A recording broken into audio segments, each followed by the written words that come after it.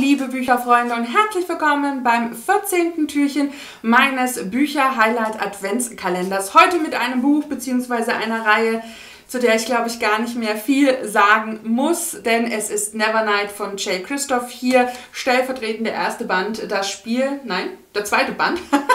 das Spiel, das erste Band ist nämlich die Prüfung, während der dritte Teil dann die Rache ist. Und es ist High Fantasy, wie ich sie liebe. Wir beginnen aber mit der Vorgeschichte, dass ich lange gar nicht wusste, was dieses Buch eigentlich ist, warum es so viel gehypt wurde. Und dann kam Anfang des Jahres der dritte Teil heraus und zwei, drei meiner liebsten Booktuber-Kollegen haben dann davon geschwärmt und dass man die Reihe jetzt endlich an einem Stück lesen kann. Und die liebe Becky und ich haben das dann auch getan. Wir haben die Hörbücher gehört, die großartig vertont sind. Also ich kann da wirklich nur sagen von Robert Frank, wirklich großes, großes, größtes Hörbuchkino.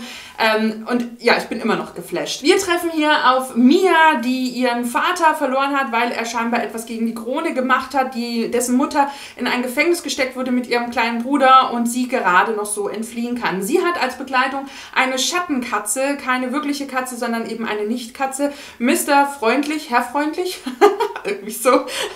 Und äh, der kann ihre Ängste äh, zehren und, und ernährt sich von diesen, hält sich aber in ihren Schatten auf. Und ja, Mia kann fliehen, trifft auf einen ähm, ja, Antiqua Bücherantiquariat, der aber viel mehr ist, denn er bildet Assassinen aus und steckt sie dann zur Roten Kirche, damit sie die Beste wird, damit sie Rache nehmen kann an den Mördern ihres Vaters und äh, ja, an der Zerstörung ihrer Familie. Und so verfolgen wir Mia relativ lange durch die verschiedensten Passagen in ihrem Leben über drei Bände hinweg, über ich glaube 2500 Seiten hinüber.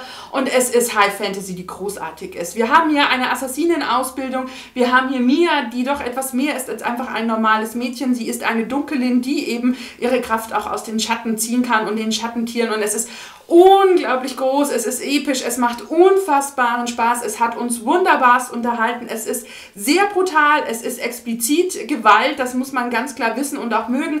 Wird eingestuft in Richtung Dark Fantasy, ich würde das auch keinem Jugendlichen empfehlen, sondern ich sag mal so ab 16 würde ich, wenn es jetzt ein Film wäre, sagen, schaut euch das an. Wenn euch Game of Thrones nicht zu viel war, dann ist Nevernight auch absolut richtig für euch oder auch die Hexer-Saga kann man ganz gut von den expliziten Gewaltszenen, aber auch von den erotischen Anteil definitiv dazu nehmen. Äh, beides ist hier erzählt und ich dachte am Anfang schon, huch, Gerade die erste Szene, da war ich so kurz im Überlegen, ist das was? Will ich das wissen?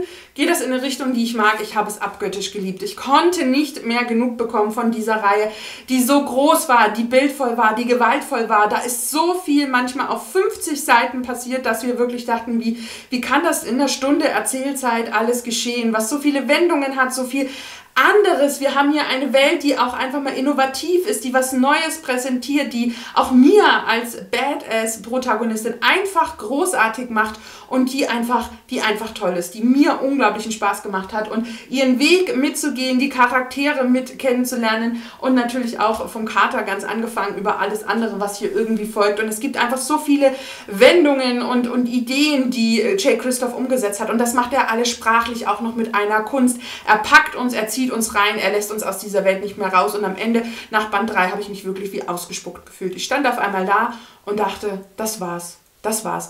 Ich bin mit dem Ende sehr fein. Ich fand das sehr gelungen. Ich fand es sehr treffend. Ich fand es sehr passend. Ich habe mitbekommen, dass manche das Ende nicht ganz so feiern und gut fanden. Ich mochte es wirklich sehr. Ich hatte große Freude damit. Mir hat die ganze Reihe einfach unglaublich gut gefallen. Es gab für mich keine Länge, keine Seite war zu viel.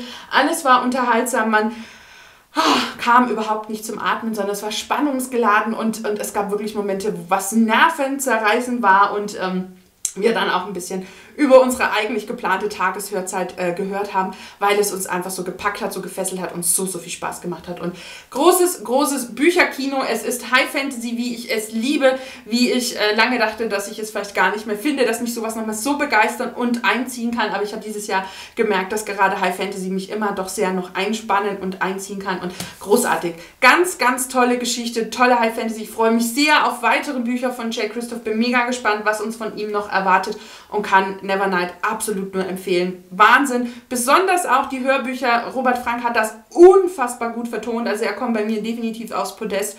Der Hörbuchsprecher, weil er unglaublich eine Atmosphäre geschaffen hat. Und es gibt hier eben auch einen Erzähler, der mit uns Lesern spricht. Und auch das hat Robert Frank einfach Hammer gemacht. Es gibt Fußnoten, die manchmal zum Schreien komisch sind. Alleine wenn die Personenregister erzählt werden, das ist so spannend, unterhaltsam.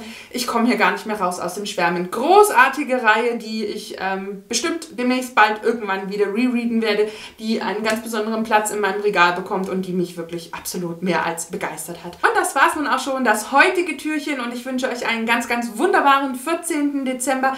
Danke euch jetzt fürs Zusehen, wünsche euch noch einen schönen Tag, einen schönen Abend und bis zum nächsten Video. Macht's gut. Tschüss, eure Steffi.